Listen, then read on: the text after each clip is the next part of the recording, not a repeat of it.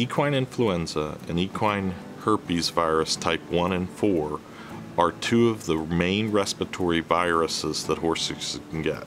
They're two separate viruses, but they both cause respiratory diseases.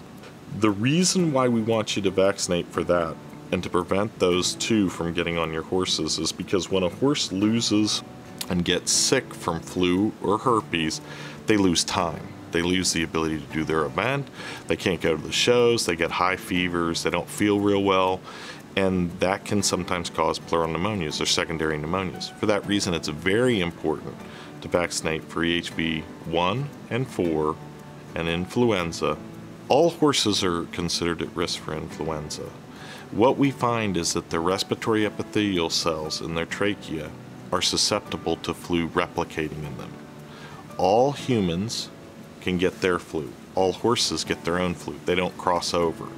But as you travel around, just like you would travel around in an airport or something, and the horses go to show, they're at risk of getting a respiratory disease. In this case, when they get influenza, they can be down and out of work for up to three weeks because the replication and the virus can cause such damage in their upper respiratory tree that they cause mucopurulent discharge and they cough a lot. That coughing helps spread the disease too. So it's really important to get your horses vaccinated for equine influenza to help prevent them from getting equine influenza.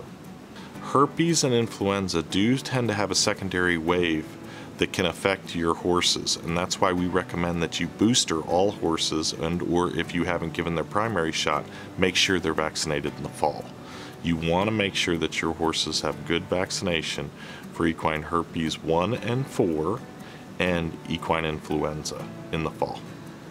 People tend to forget that horses that travel around a lot that can go to sales or shows, they come back from those sales and shows. So when they come back, they make the whole farm be at risk as well. So you'll ask somebody, has this horse left the farm? And the answer at times is no.